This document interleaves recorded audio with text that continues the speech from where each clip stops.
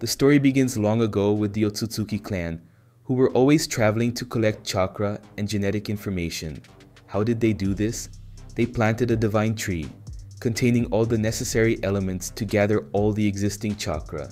The result was a fruit that compressed all the vital energy on the planet. Once they ate the fruit, the clan members could extend their lives infinitely. For a long time, the Otsutsuki followed this process until one day, everything changed. Kaguya Otsutsuki, also known as the princess of the clan, came to Earth intending to repeat the ritual she had been performing. But this time, something different happened. She had a disagreement with the companion who traveled with her and was left alone with the newly planted divine tree. The area around the divine tree began to wither and dry up, consuming everything nearby, even people who approached out of curiosity to see what it was.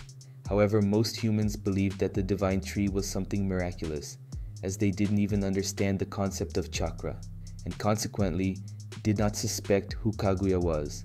In fact, the Otsutsuki princess lived on Earth long enough to form a relationship with a human and have two sons with him, Hamura and Hagoromo Otsutsuki, both of whom also play fundamental roles in the story. Then, the day came. The divine tree was ready and the chakra fruit could be consumed. After consuming it, an immense amount of power invaded Kaguya's body, and the princess became completely corrupted by it. She then decided to create the infinite Tsukuyomi, believing it was the only way to bring peace to the world. As a result, humans were placed into a deep sleep, where everything they idealized became reality. While they were kept in this illusion, all their powers were absorbed. With this, there was a clash of ideals between Kaguya and her sons, who were the only ones capable of doing something about the situation. The difference in opinions led the princess to awaken the Jubi, also known as the Ten Tails the divine tree became an indestructible being, practically impossible to defeat. Thus, Hamura and Hagoromo, who had inherited abilities from their mother and the clan, decided to perform the Chibaku Tensei, a very powerful sealing jutsu that would trap Kaguya and all her powers in a moon in the sky. The princess was covered with many stones until she could no longer move, and so the moon was created. But that would not be enough it was necessary for someone to control this immense amount of power chakra. Hagoromo was chosen for this mission because, in addition to having an extremely balanced mind, he had better capability in mastering chakra, given that he was a mix between Otsutsuki and human. As for the Ten Tails, only the shell remained. Before being sealed, however, Kaguya created a small remnant of her will as a final act of her existence something that we later discovered to be Black Zetsu. As a guarantee that the Jubi would not escape and that her mother's evil power would not be released again, Hamura decided to live on the moon, and thus his heirs, descendants, the Hyuga, came into existence. But that's much later. In this way, Hagoromo decided to stay on Earth. He deeply desired humanity to have a more peaceful future. Of course, there were still many who supported Kaguya, who called themselves the Kaguya clan, but this did not make the Sage of Six Paths lose faith that there were other ways to achieve peace, quite different from his mother's. Thus, he shared with everyone the ability to use chakra, among other skills. In this way, Hagoromo became the father of the ninja world. People understood each other more easily for a long time. The Sage of Six Paths even wrote some teachings on stone tablets, made by himself to be passed down from generation to generation. And like his mother, he lived on earth for a long time and had two sons, Ashura and Indra, one symbolized by the sun and the other by the moon, respectively. The two brothers were quite different from each other.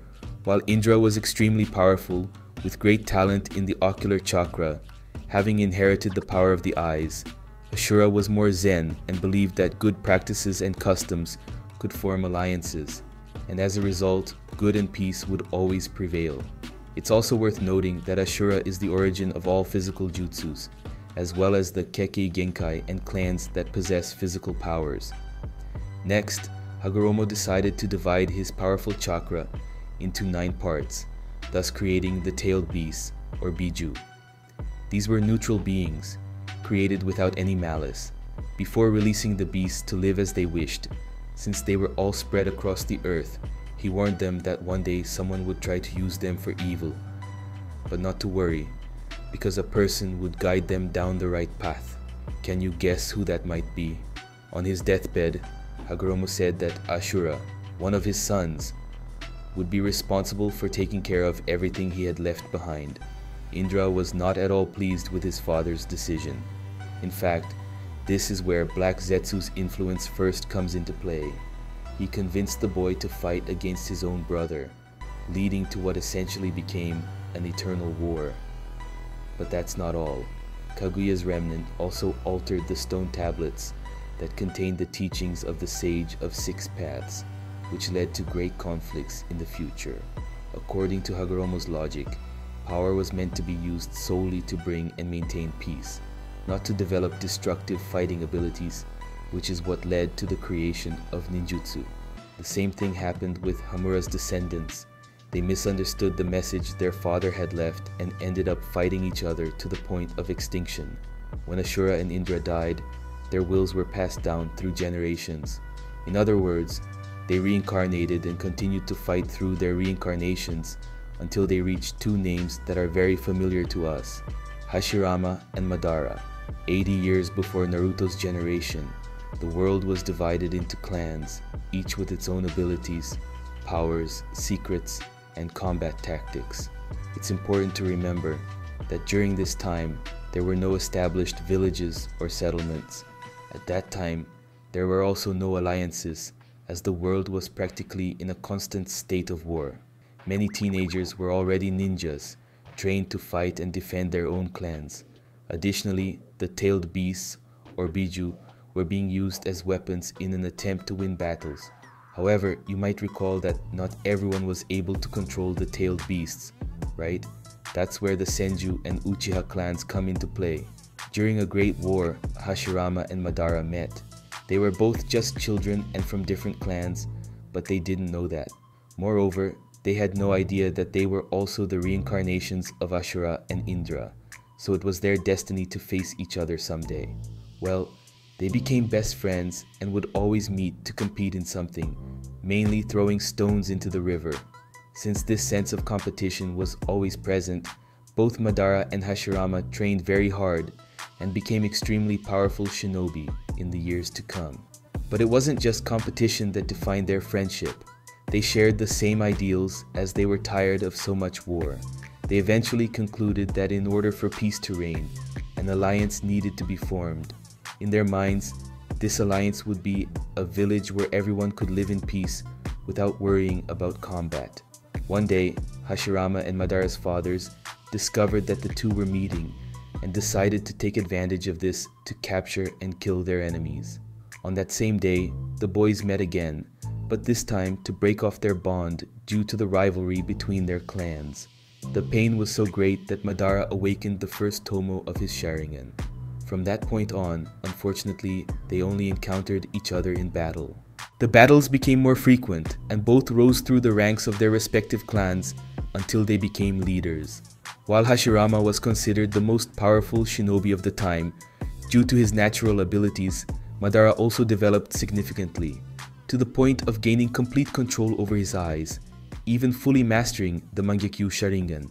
However, the excessive battles, which lasted for days on end, eventually left the Uchiha blind, while the Senju continued to insist on the peace agreement they had always dreamed of. But as time passed, this possibility seemed to grow more distant Tobirama Senju, Hashirama's younger brother, hated the rival clan. One day, he gravely injured Izuna Uchiha, Madara's younger brother. Izuna lay bedridden for nights until unfortunately he passed away. Before he died, however, Madara took his brother's eyes to regain his vision, awakening the eternal Mangekyou Sharingan. Well, there are two versions of this part of the story. The first is that Madara stole Izuna's eyes. The second is that Izuna himself asked Madara to take his Sharingan. Which one do you believe? Remember folks, that the former leader of the Uchiha clan was always an ambitious person with a thirst for power. Back to the story, with his new eyes, Madara could fight again, which only made Tobirama even angrier. But Hashirama was very persistent and kept returning to the idea of an alliance. However, after his brother's death, Madara was quite resistant, until he reached a certain point. He suggested that if the leader of the Senju clan truly wanted to realize the dream they had both shared, he would need to kill Tobirama as a way to avenge Izuna's death, and they would be even. But instead, Hashirama offered himself in place of Tobirama, which left Madara very surprised. After much resistance, the Uchiha finally decided to make peace and form an alliance with his old friend. Together, they began to live harmoniously, integrating the Land of Fire and founding the Hidden Leaf Village. In fact, other countries started to imitate what they were doing. They also formed alliances and became nations divided into villages. Let's say Konoha set an example for the entire world. For a long time, with various ideas and strategies, peace reigned among all. Each of the villages had a leader, and in the Land of Fire, this leader was known as the Hokage. Initially, Hashirama wanted Madara to be the leader. After all, they founded the village together, and it was the Uchiha who named the place. However, most people didn't think they could trust him, including Tobirama. Madara quickly realized what was happening and felt deeply rejected. In the end, Hashirama was chosen to take the position. The first Hokage often met with the leaders of the other villages, the Kages, to discuss various issues, including the alliance between the villages, which was his idea. Hashirama was quite happy with everything that was happening. After all, his dream of bringing peace to the ninja world had come true. During his time in office, conflicts significantly decreased, but nothing good lasts forever. During the same period, some villages began to use the power of the tailed beasts to create Jinchurikis, people who had the beast sealed within their bodies to use their chakra. Few people managed to control them, especially the Kyubi, known as the Nine Tails Fox. But over time, the power of the Bijus was correctly harnessed by the Jinchurikis, and the villages began attacking each other again. The reasons were always the same conflicts of interest natural resources, and territorial dominance. Seeing this, Madara felt that he and Hashirama had failed. Thus, he started searching for other ways to reverse the situation. After discovering Hagoromo Otsutsuki's stone tablets, Madara began to change his mind, since they had been altered and he was being manipulated by Black Zetsu.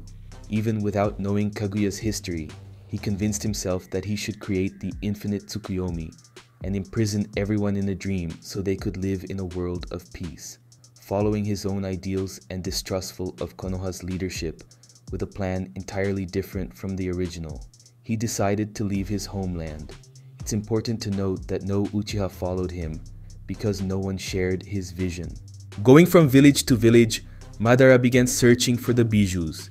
He wanted to evolve his eyes to the next level, but no one was on the same level until he found the Kyubi. After using the Sharingan to control the Nine Tails, Madara decided to go to Konoha to destroy the village. He even had a plan to fight Hashirama to the death. This way, his eyes could evolve into the Mangekyo Sharingan. After all, it would be a pain from start to finish to fight and lose his best friend, wouldn't it? At first, Madara was controlling the Kyubi with his eyes and covered it with Susanoo. However, it's important to note that he wasn't the Jinchuriki of the beast. As a result, he couldn't maintain control of the Nine Tails for long, and Hashirama gained control over it, but that didn't last long either. This is where Mito Uzumaki came into the story. She belonged to the Uzumaki clan, known for their vitality, powerful chakra, and specialization in sealing jutsus. So the clan's matriarch used a fuinjutsu and sealed Kurama within herself, becoming the first Jinchuriki of the Biju. Afterward, the battle continued between the two. It was so long that eventually, both of their chakra reserves were depleted, leaving them to rely solely on physical attacks and taijutsu. But we all know the outcome. Hashirama won. At one point, Madara bit his rival and absorbed some of his DNA. Many believed that the Uchiha had died there, but in reality, he used Izanagi as a way to avoid death. With this, he used the cells of his former friend that were in his body to regenerate quickly, allowing him to survive for many years. Before truly dying, he managed to awaken the Rinnegan and realized there was something on the moon, which he summoned, later revealed to be the shell of the Jubi. Madara then used the shell to cultivate more of Hashirama's cells, and thus the White Zetsus were born. Even without knowing how he would carry out the infinite Tsukuyomi plan, Madara formed an army of White Zetsus and began a search for the Bijus.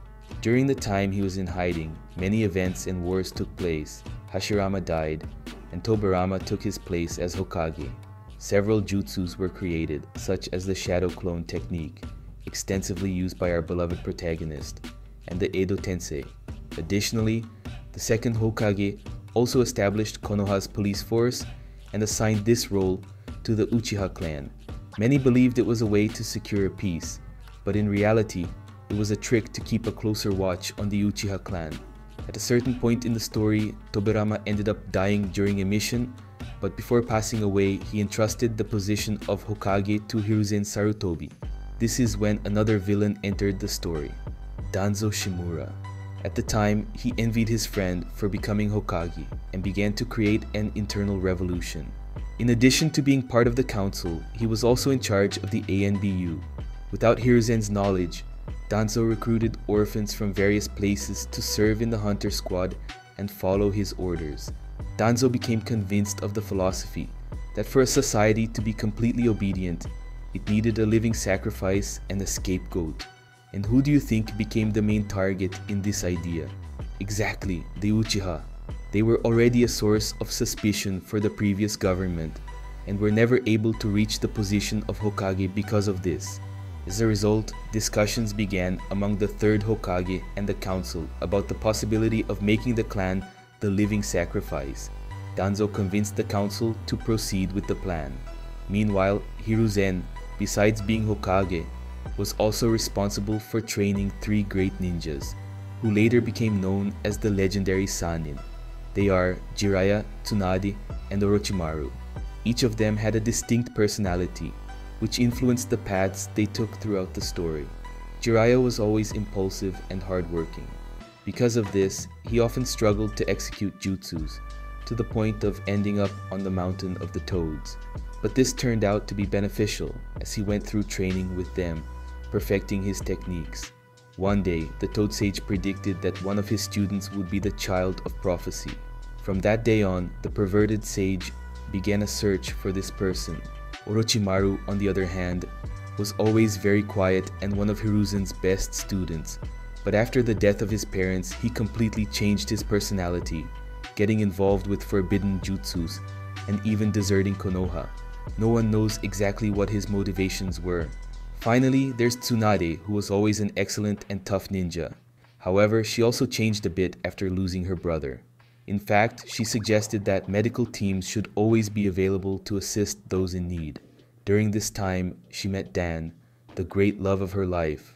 Unfortunately, with another war, Dan also ended up dying, which deeply affected Tsunade but she didn't have much time to mourn because she was summoned, along with her former teammates, to face a great adversary, Hanzo of the Salamander.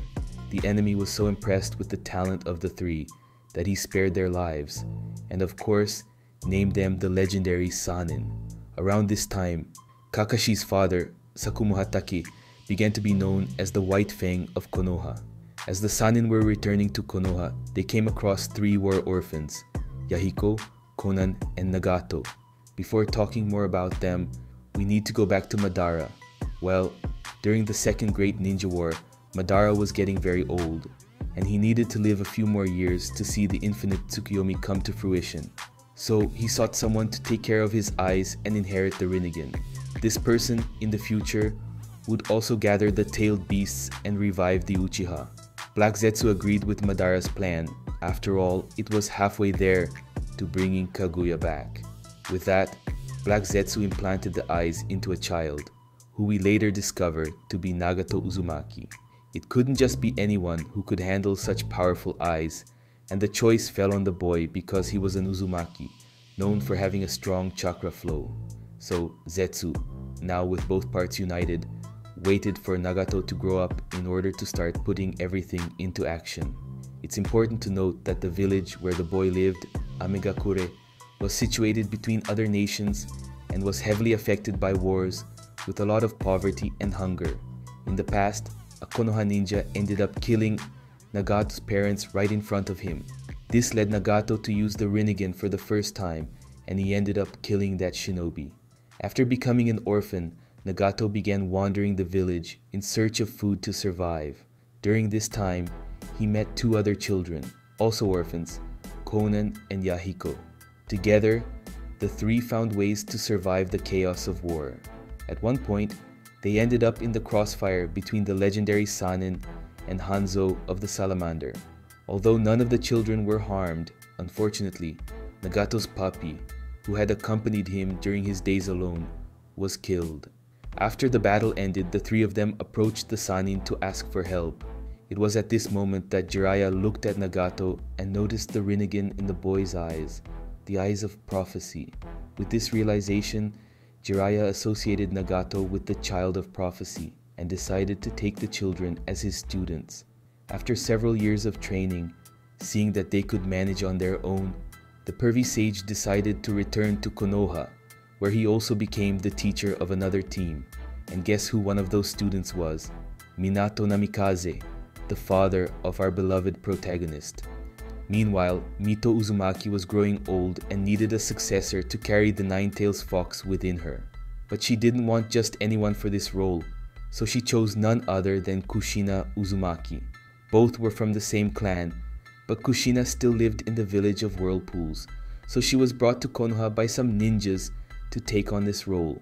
Unfortunately, shortly after the girl left the village, the Uzumaki clan was exterminated by other nations. Everyone feared the Uzumaki because they were extremely powerful ninjas and experts in sealing jutsus. Thus, Kushina became the second Jinchuriki of Kurama and also a citizen of Konoha.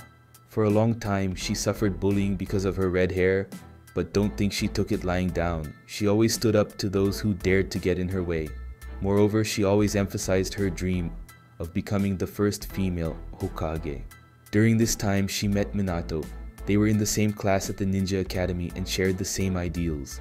Even though she didn't show it, Minato understood her very well. One night, Kushina was kidnapped by ninjas from another village who wanted to steal Kurama's chakra. Along the way, she left strands of her hair behind in the hope that someone would come to rescue her. And that's exactly what happened. Minato fought off all the shinobi who were taking her and then rescued her. He then expressed how much he liked her hair which had been so criticized by everyone else. The rest is history, isn't it? From that night on, they became great friends and a beautiful couple. Both grew up to become spectacular ninjas, especially Minato, who became known as the Yellow Flash of Konoha due to his speed in battle.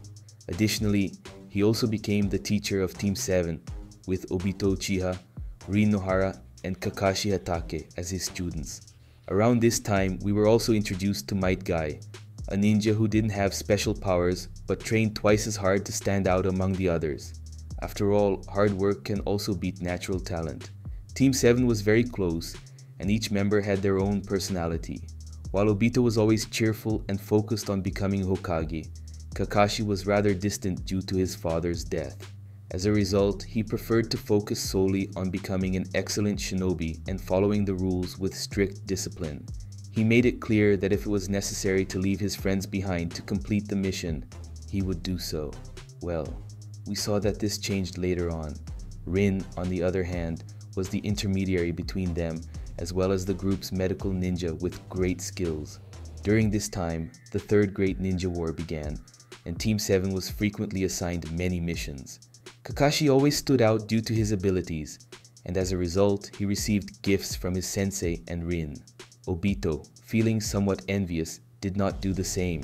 Minato, noticing this, often advised his students to work as a team, believing they would have more success together. With that in mind, they were given a mission to destroy a bridge, which was key to ending the war. Kakashi wanted to stick to the plan, but everything changed after Rin was kidnapped. While Hatake wanted to continue the mission, Obito wanted to save their teammate. The two clashed and began to go their separate ways until Uchiha said the famous line, Those who break the rules are scum, but those who abandon their friends are worse than scum. Moved by his friend's words, they both set off to rescue Rin, but not in the way you might think. Obito went ahead, and during the battle, he awakened the Sharingan. However, he was about to be killed when Kakashi appeared to help him. Unfortunately, a tragedy occurred. A rock slide fell on Obito, crushing him completely. Believing he would die right there, Obito decided to give one of his eyes to Kakashi, asking Rin to perform the transplant while there was still time. According to Uchiha himself, this would be his gift to his friend. They couldn't retrieve their friend's body in time and were also out of options to escape their enemies. So Kakashi decided to use the kunai Minato had given him, which acted as a teleportation device, allowing their sensei to reunite with his students. But then came the plot twist.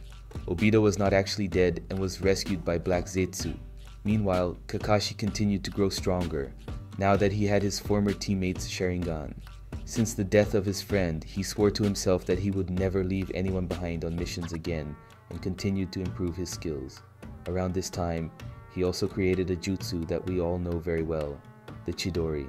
During that time, Sasori, a rogue ninja who had deserted from the village of the sand, assassinated the third Kazekage and turned him into one of his puppets.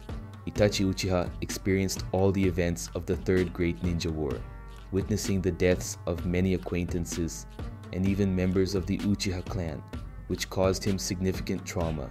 Maito Dai, to protect his son, opened the eight inner gates and defeated the killed four members of the seven ninja swordsmen of the mist, but unfortunately, he died in the process. As a result, Maito Gai became even more obsessed with training, to the point of aspiring to one day be named the strongest ninja. With the end of the Third Great Ninja War, all of the five great nations gathered to renew the peace agreement. This was, in fact, Hiruzen Sarutobi's only demand of the losing countries. All the council members were outraged and decided it was time to appoint someone else to the position of Hokage, and who was chosen? None other than Minato Namikaze. However, this decision did not please everyone. After selecting the fourth Hokage, the Uchiha clan began to mobilize to carry out the coup they had been planning for some time. At the same time, Orochimaru was far from happy about this. After all, he had wanted to be named Hokage. As a result, he intensified his experiments and delved deeper into studies related to longevity, immortality, and resurrection. He also began spreading the curse mark among various ninjas, especially those who served him. This way, the Sanin could use the person's body if he was incapacitated or near death. And there's more. The Snake Master stole the graves of the first and second Hokages to perform some procedures, mainly with Hashirama's cells. Amidst all of this, a child emerged, who we later came to know as Yamato. It's important to note that these experiments were only possible because Danzo was behind them, ensuring that Orochimaru's actions remained undiscovered. As a result, Danzo also benefited from Hashirama's cells, gaining the ability to control a large number of Sharingans. However, the Sannin's plans were eventually uncovered by the third Hokage, who confronted him directly.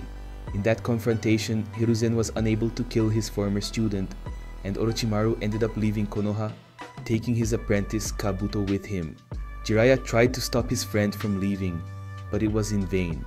Over the years, Orochimaru and Kabuto established several laboratories throughout the ninja world, conducting various experiments in each of them. They also created the Hidden Sound Village and continued searching for suitable vessels to become Orochimaru's future bodies. However, they decided that the best vessel would be that of an Uchiha, which led Orochimaru to join the Akatsuki. But before we discuss the organization, we need to go back in time a bit. Remember when I mentioned that Obito was alive and was rescued by Black Zetsu? Well, he brought the boy to Madara, who believed this was a divine intervention. After all, who better than someone from the same clan to carry out the moon plan? First, Madara regenerated the part of Obito's body that had been crushed, thanks to Hashirama's cells and the experiments the Uchiha himself had conducted. Then he tried to persuade Obito to follow him, but the boy resisted and decided to escape. As Obito left Madara's hideout, the first thing he saw was Kakashi killing Rin. This deeply affected the boy who, consumed by hatred, decided to cooperate with the plan that had been explained to him.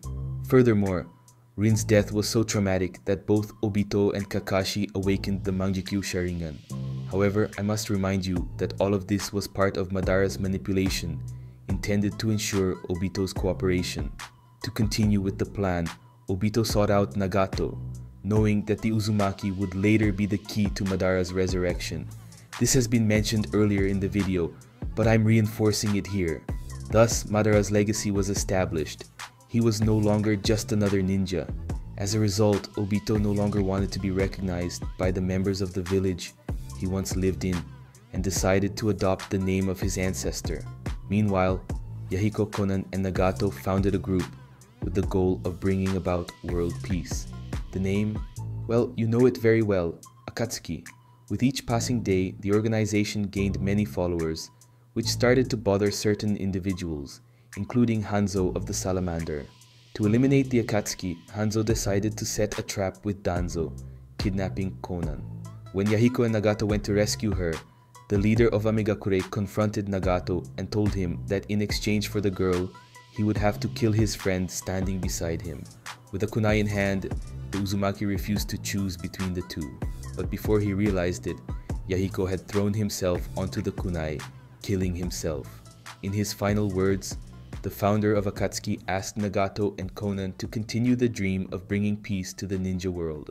Yahiko's death caused Nagato to awaken the Rinnegan, killing everyone present except for Konan and Hanzo, who managed to escape using teleportation. Subsequently, Nagato used his friend's body and through the Gedo demonic statue, transformed it into one of the Paths of Pain, which would now be his pseudonym. After assassinating Hanzo, he became the leader of Amegakure and the Akatsuki, which continued to pursue the goal of peace but now through pain. Shortly thereafter, they made contact with Obito, who intended to observe the group closely. Instead of maintaining the identity of Madara Uchiha, he preferred to adopt the pseudonym Tobi. With this, Pain, with the help of Konan, Tobi, and Zetsu, began recruiting rogue ninjas to join them. The number of members grew, and they soon became an organization full of mercenaries. In fact, nations that wanted to win wars could hire the services of the Akatsuki. It's important to note that each member of the group had their own goals, but the main objective was to capture all the Bijus in order to control the wars, so to speak. Even though it seemed like the group was led by Pain, that wasn't really the case. In reality, it was all part of Obito's manipulation to obtain the tailed beasts and begin Madara's moon plan. But even Uchiha himself was being used by Black Zetsu. After all, all of this was to bring Kaguya Otsutsuki back. With that in mind, they decided that the first Biju to be hunted would be the Nine Tails.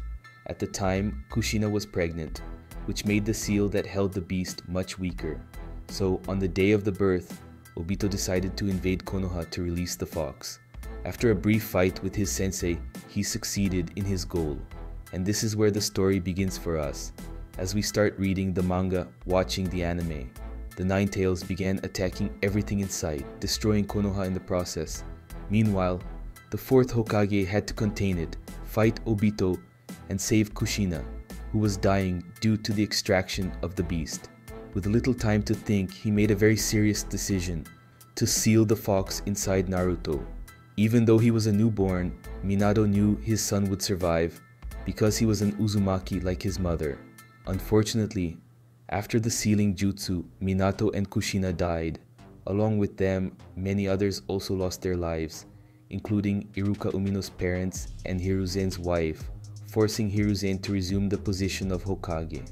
To ensure Naruto's safety, the Konoha Council decided to conceal the fact that the boy was the Jinchuriki of Kurama as a way to prevent potential new attacks on the village and to protect our beloved protagonist from being kidnapped. But as we saw throughout the story, that didn't work out very well, did it? Additionally, the leadership of Konoha, along with many of the village's citizens, were suspicious of the Uchiha, as the person who attacked the village had a Sharingan, and the only members of the clan still alive lived there. Because of this, there was a movement to completely eliminate the clan.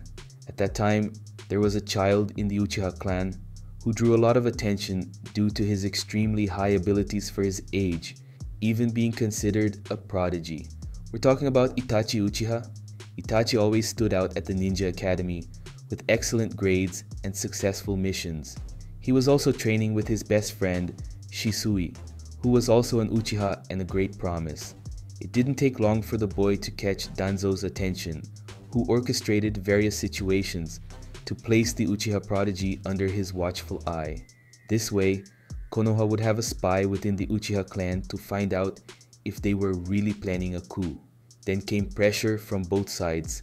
Both the Uchiha and the rest of Konoha wanted secret information from each other. During this time, Itachi lost a teammate who was assassinated on a mission, leading to one of his first traumas. For many years, the clan prodigy tried to convince the other Uchiha that the coup was not a good idea, arguing that the conflict would escalate and likely lead to a new war, with many deaths along the way. Unfortunately, no one listened to the boy, and they decided to proceed with the plan. By this time, Danzo had already taken Shisui's eye, which contained a very powerful jutsu called Kotoamatsukami, a genjutsu that allows the user to enter the opponent's mind and manipulate it, creating false experiences and making it seem as though the person was acting of their own free will. Shisui's idea was to use this to prevent the coup from happening. Unfortunately, after losing one of his eyes, he gave the other to Itachi and asked his friend to stop the war. Shortly after, he committed suicide. The trauma was so great that Itachi awakened the Mangekyo Sharingan. With this, Danzo decided to make a proposal to Itachi. He told the Uchiha that he could prevent another war from happening, but he would have to kill all the members of his clan, including his own parents. The only person who would remain alive would be his younger brother. After some hesitation and ensuring that Sasuke would survive, Itachi carried out the Uchiha clan massacre one night. He then became a rogue ninja and later joined the Akatsuki. It's worth noting that Itachi had the help of Tobi, who presented himself as Madara, to carry out this collective extermination. Now that the Akatsuki had all its members, including an Uchiha, Orochimaru decided to put his plan into action and attempted to steal Itachi's body, but failed miserably. After this episode, he left the group and focused more on his own research, as well as on performing forbidden jutsus like Edo Tensei. However, there was a twist. The Sannin had implanted Hashirama's cells into all the corpses he had stolen, including Madara's. This led to a slight change of plans. Initially, Madara would have needed to sacrifice a person with the Rinnegan to bring him back to life. But since Orochimaru had implanted Hashirama's cells into his body, Madara would return to life in his original form, so to speak, through Edo Tensei. Meanwhile, Kakashi was becoming known for copying his opponent's jutsus with the Sharingan, which earned him various nicknames, and was becoming one of the strictest teachers at the Ninja Academy. From this point, we begin to delve into the classic part of the story. If you enjoyed the video, subscribe to the channel and turn on notifications to receive new videos. We'll have more Naruto summaries, so make sure to subscribe so you don't miss out and watch the two videos that are on the screen.